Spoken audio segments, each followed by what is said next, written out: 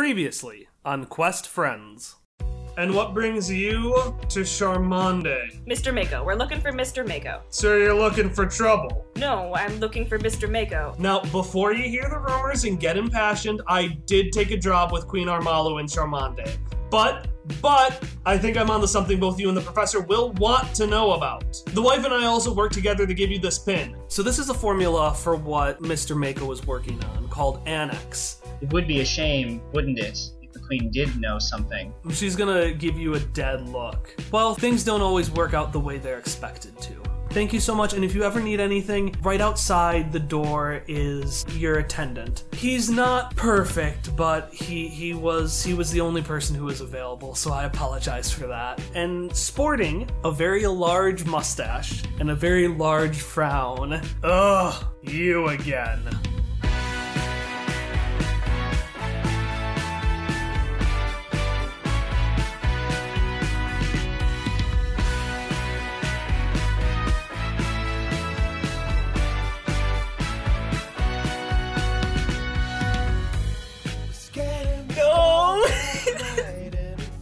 Again. Hello! How are you? I see you still have the hat, ma'am. That's good. I will always have the hat. So how did you get here so quickly? We took the tour. He just turns to himself. I fucking hate the tour. Wait, is this the border the border guard? It absolutely is. Okay. I, I wasn't sure if we were meant to actually know who he was. Yeah, Yes. me neither. So Shock will go, Oh, it's you! We met you at the edge of the city. What do you mean by that? A man can have multiple jobs. There's nothing wrong with that. Isn't serving the kingdom one job, though? Feels like more. And he sighs. I need to say this. Hello, my name is Don. I am here to help and serve you in any way you need. Ask me anything and I will assist. Salutations, Don. My name, and Misha is going to introduce themselves to Don. Did you do that at the border? Yes, but Misha is going to do it again. Okay. Don is staring at you. He is dead inside. Uh, Hopper's just gonna, hey, nice to see you again. Uh, we're, we're gonna go. and then just, he's just gonna go. Don, can I can I call you Donnie? Dono, Donette, Don, Dee Dee. Donut. What do you need, ma'am? I'm not holding your rat. I was just gonna say you can uh, probably go home. Not allowed to do that. I need to follow all of you to your locations as per Miss Vera's rules. but we're going to different places. Yeah. Well, that's not sustainable. You have to figure out something. I'm afraid that Miss Vera did not confirm those rules. She said we could move freely. It's, it's true. I know what you're trying to do, sir. I remember you doing it at the border. And he pulls out a little booklet with rules and he says, But this time I'm prepared, sir. Rule 76 9b question mark. All guests must stay together with their attendant at all times to ensure their safety and happiness. But what if our safety and happiness is not ensured by this rule? Can we then break it? He flips a few more pages. Well, I suppose you're right. I would be fine going with just one of the two groups and letting some of you go on your own. And he gives a look to Ellie. Well, Misha and I are just staying in the palace, so you know we'll be we'll be fine. I think he's gonna shoot an "I'm sorry" glance at Ellie. Look, Donette, Dono, Dino, don't follow me. Uh. It's better for all of us if you don't follow me. Are you trying to intimidate? Yes. Nine. Nine? Uh-uh. I'm sorry, ma'am. I have to follow the logic of the system, and the logic of the system does say that those going out would be under more danger than those coming in. Staying in, those staying in. I haven't slept in four days. You could just take a nap. Not till all my shifts are over, sir. I've got two left. How understaffed is this palace? Come on, Donut. Hopper's concerned for the working conditions. this is a side goal now. Improve the working conditions of this palace. This is not OSHA compliant. So we are going to start with our party of four, but not our typical party of four. This one is comprised of Ellie, Shock, Jesse, and Don. Yeah, so you're all walking. Jesse is proudly marching forward, and they're grilling both Ellie and Shock on a whole host of questions about what it's like to explore and, and, and adventure with Hopper Scotch. is it great? And like, you know, is this rumor true? Is that not? You know, what what's a calzone? Have you had one before? Uh It's a calzone. What's yeah, Excuse sorry. you. What's a calzone? Have you had it before? Stuff like that. And then Don is reluctantly but diligently following about five feet behind you. Oh, donut. Right now, you're just walking towards one of the four districts on the anthill. Buck wants to, as smoothly as he can, which isn't very, mention, so you've been traveling with Hopperscotch before? Oh uh, no no no no! I, I I've never I've never traveled with with Hopper Scotch. Um, he's just. I really look up to him. I've been, you know, I I, I remember the first time I I, I heard of, of the great things he did to, to, to help a town, and I don't know. I've just been following him ever since, and and, and reading up on his adventures. You probably know even more about Hopperscotch than I do. Oh well, I mean, I mean, you you've met him, like you you've talked to him and stuff. I've just heard stories, and and you know those can only mean so much. I'd be interested in hearing some stories. Oh, of course, yeah. You said he used to have another companion he traveled with, a Miss Lorraine.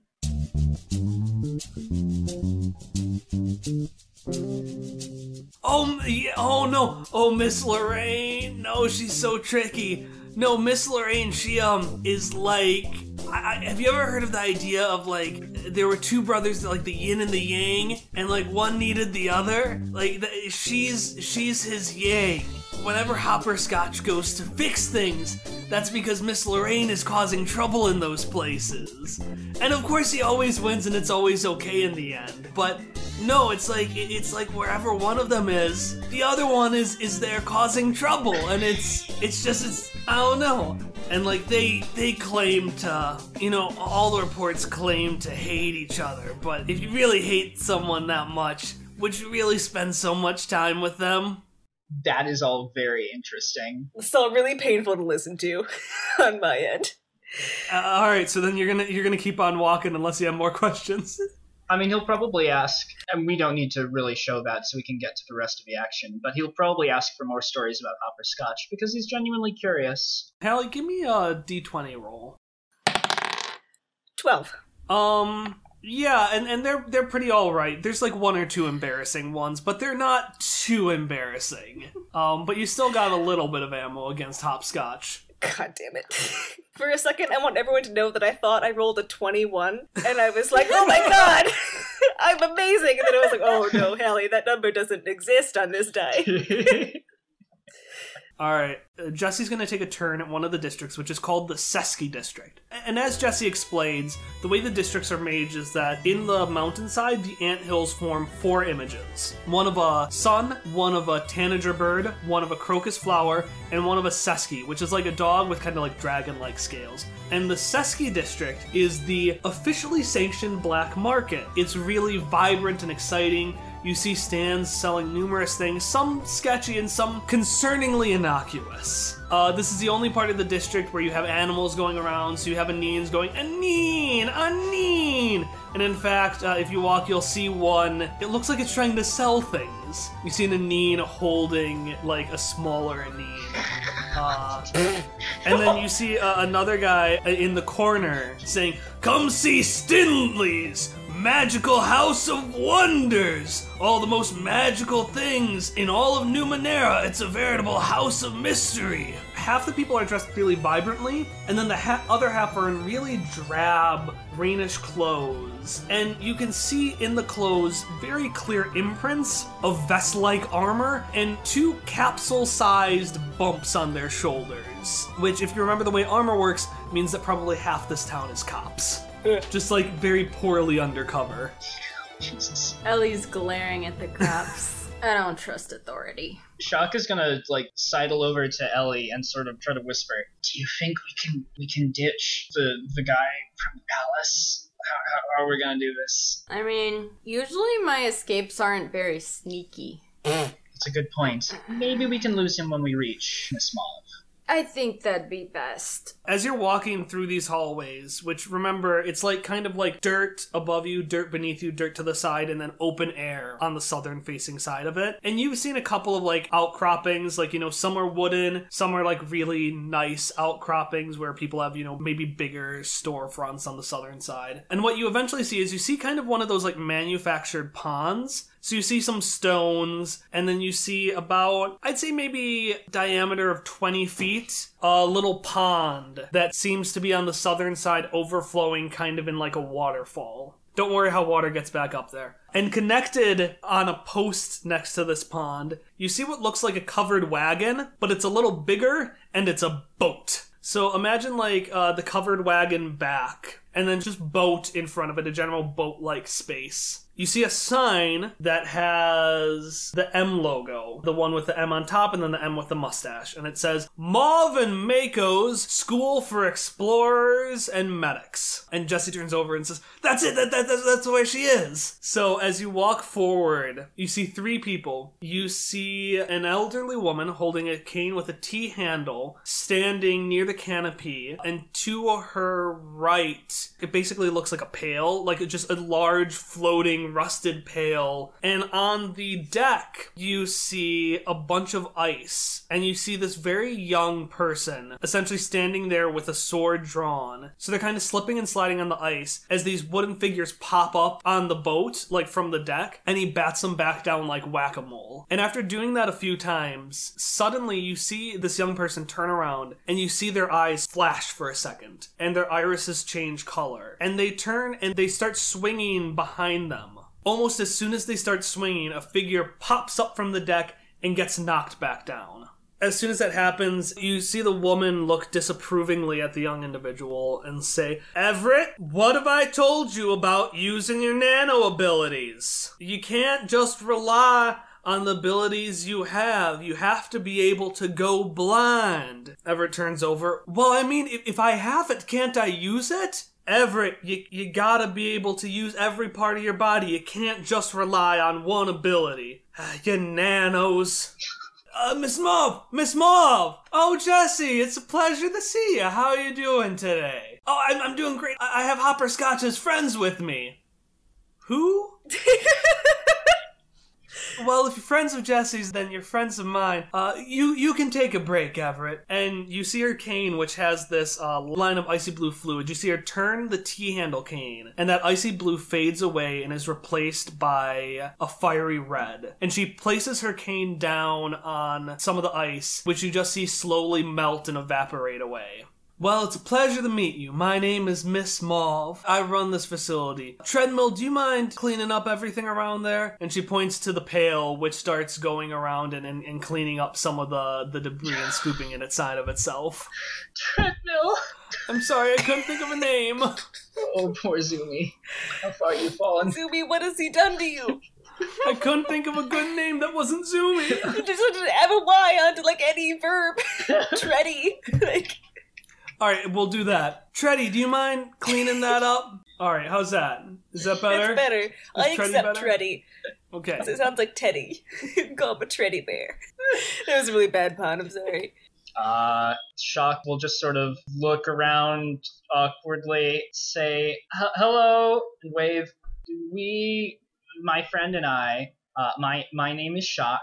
This is Ellie. I'm Ellie. We were wondering if we could ask you some, some questions. She looks at you for a second, then turns back and says, Oh, Don, it's a pleasure to see you. I haven't seen you in a while. She turns over to Jesse and says, Jesse, c- can I trust these guys? They're with, you know. She starts motioning towards Don. Can you go home now? Ma'am, I'm supposed to stay with you until I'm done.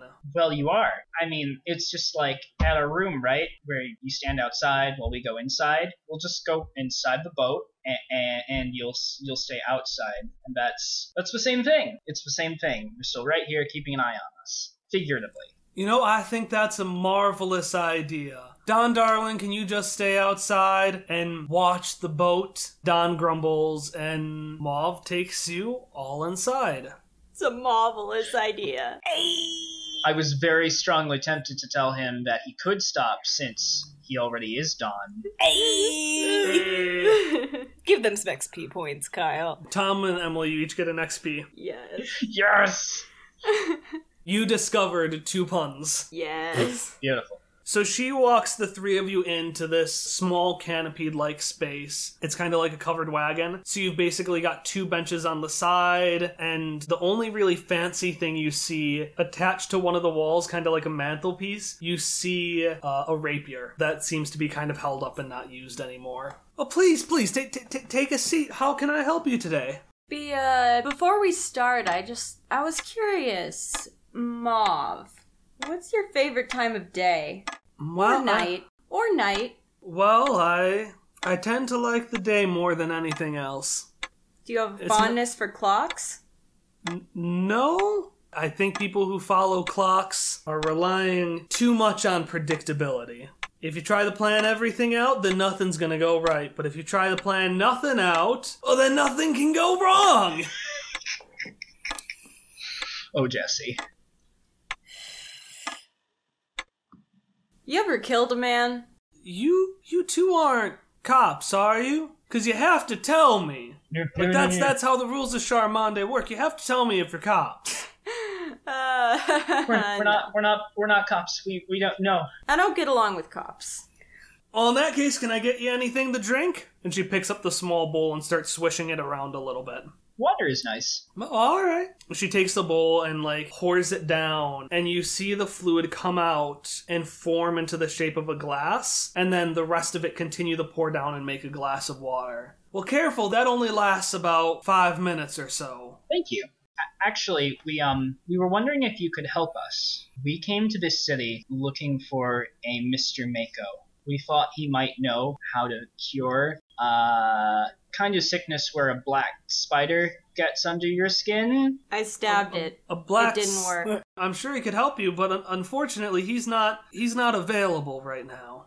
We've heard um a woman at the palace. Vera, She sneers at that a little bit. you aren't friends. Well, I will say that Vera is the most interesting woman in the city, and that we came here specifically to meet her. But no, we're not friends. She's uh actually uh the woman I met who really likes clocks. Okay, you're gonna have to be more clear, ma'am. I don't understand what you're talking about. Shock gives a look over at Ellie and says, I don't know exactly what my friend is talking about, but I think we might be in a lot of danger. I think Vera has been lying to us, and I think I might have helped her get something that Mr. Mako was working on. Oh yeah, the the cure for the queen or whatever nonsense like that. I don't know what her intentions are for it, but I suspect she has selfish means. She told us that she wanted to use it to get Mr. Mako out, and that he, she knew he was innocent. She has no interest in that. Why would you want to break someone out when you're the one who locked him up in the first place?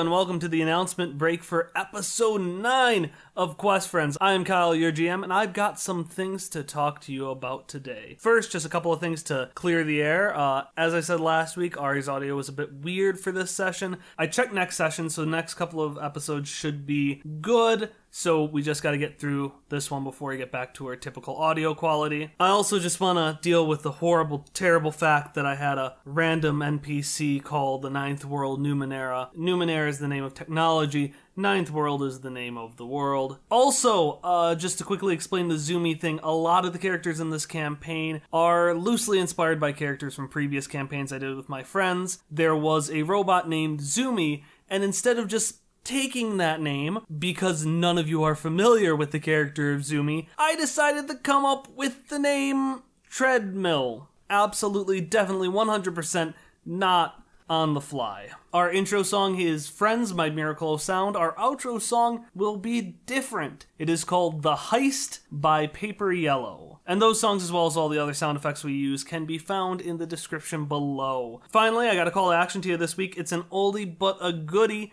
tell one friend, one person you think might be interested in Quest Friends about Quest Friends. You can do it on social media, you can do it in person, you could even send them a signed, sealed envelope although that would frankly be a waste of paper, but you could do it. Thanks so much for listening. We are back on schedule, which means our next episode will be released on Monday, February 26th. See you then.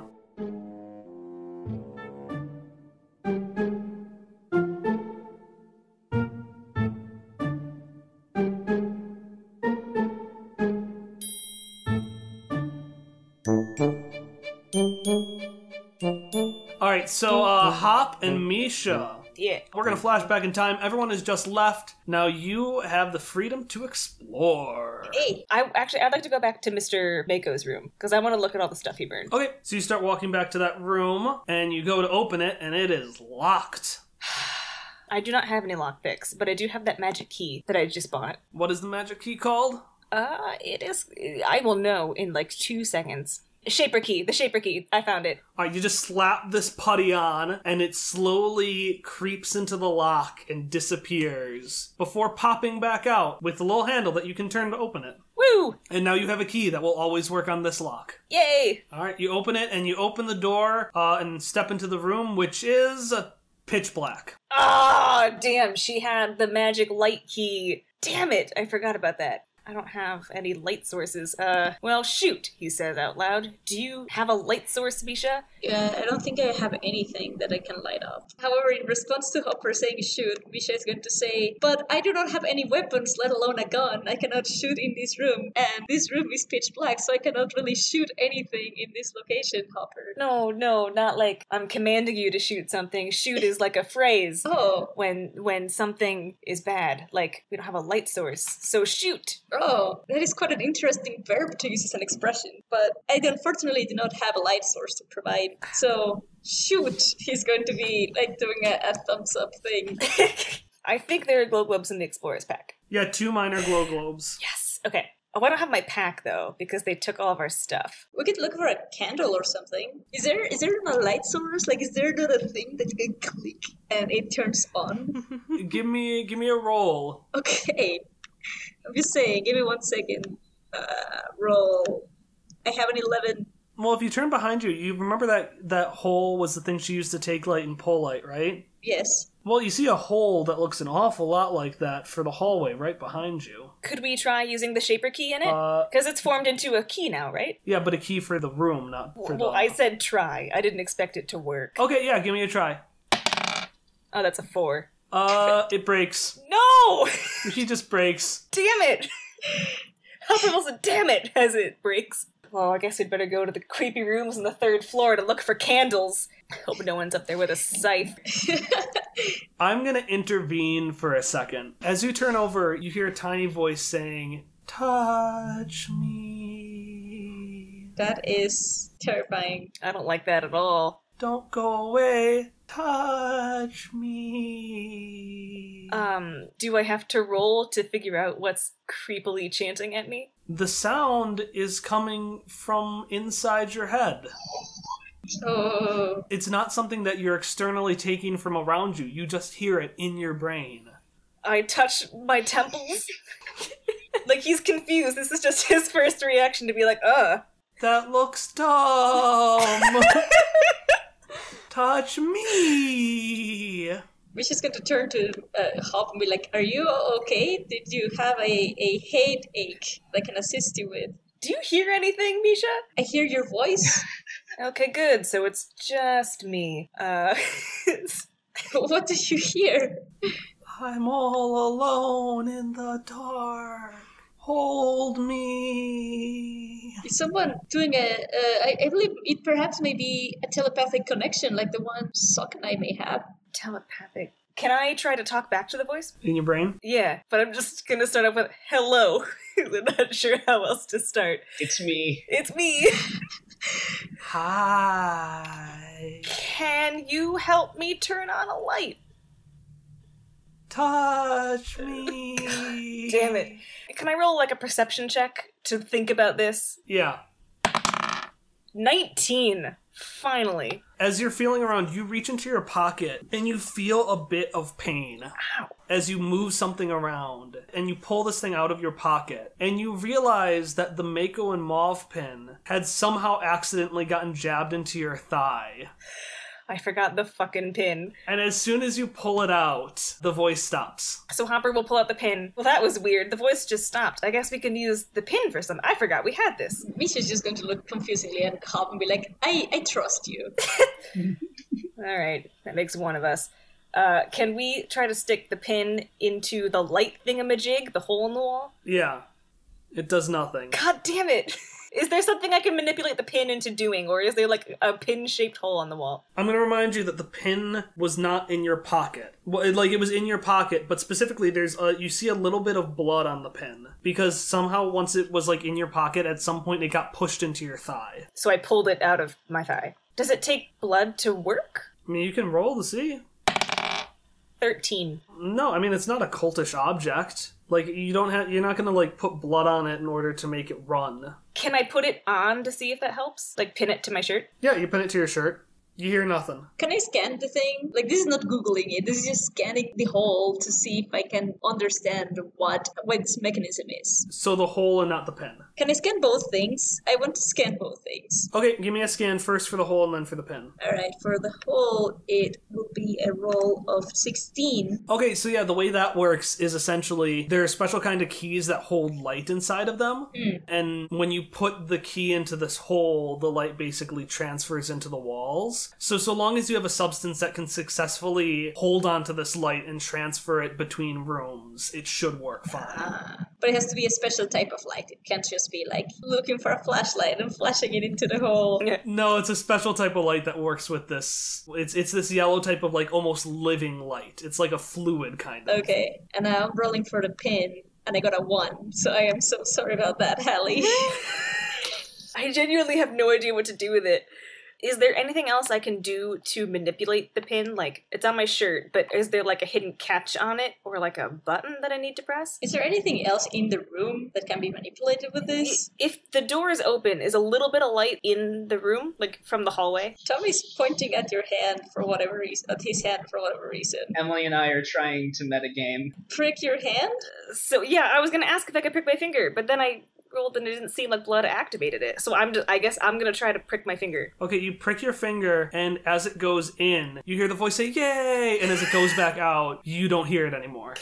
Well, I thought of doing that. Yeah, she, she said that, but I thought that wouldn't work. Yeah. It's got blood on it now, but it's not working. It was like happy when you stuck it in, and then once you stuck it out, you stopped hearing it again.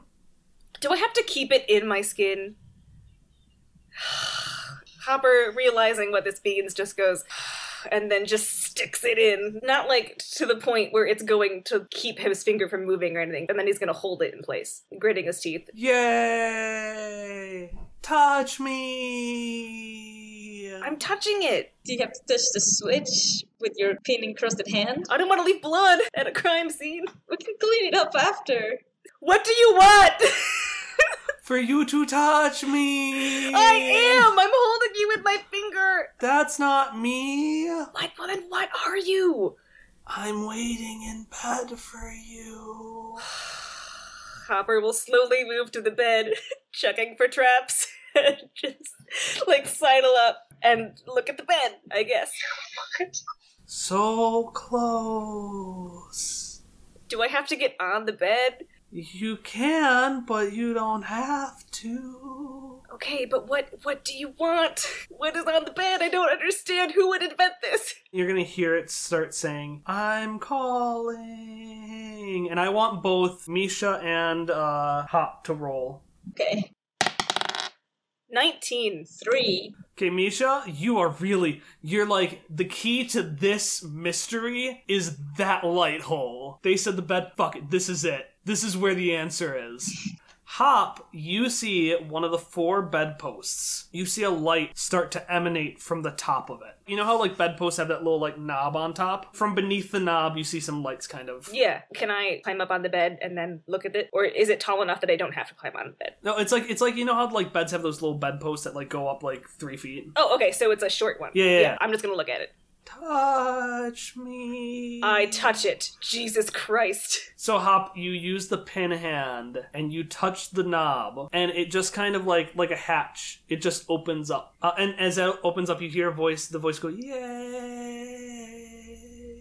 And then slowly disappear out of existence. And so you see a couple of things. At the bottom of this like little knob, you see one of those pins and it's connected to something called it's connected to a cipher called recording gum. Recording gum is a piece of sticky food question mark that you chew for a few moments. It will record specific instructions on what to say and under which conditions to say it. It's usually pretty quiet, but it can be attached to some sort of external speaker. So it looks like in this case it was attached to one of the pins. And as you open up, you also see the inside of this bedpost has been hollowed out, and there are a bunch of papers inside of it. Ooh. Okay. I'm guessing that I can take the pin out of my finger now. Yeah. Okay, yeah, Hopper's gonna take it out and kind of like wipe the blood on the side of this terrible, ugly green uniform. and then, actually, no, because you said it had like reddish brown lines on it, right? Uh, it has a little reddish brown emblem. Can I add it to the emblem to disguise it into the reddish brown color of the emblem? It actually looks a little bit better, to be honest. Yes. Okay. and, uh, so Hopper will do that and then kind of shake the pin off and wipe the rest of the blood of the pin off and be like, "Hey, I found something." To Bisha. Oh, Wish is going to say like, "Did you find something to to manipulate this light source pocket?" I believe this is the key to the whole uh, endeavor. the key to the whole endeavor.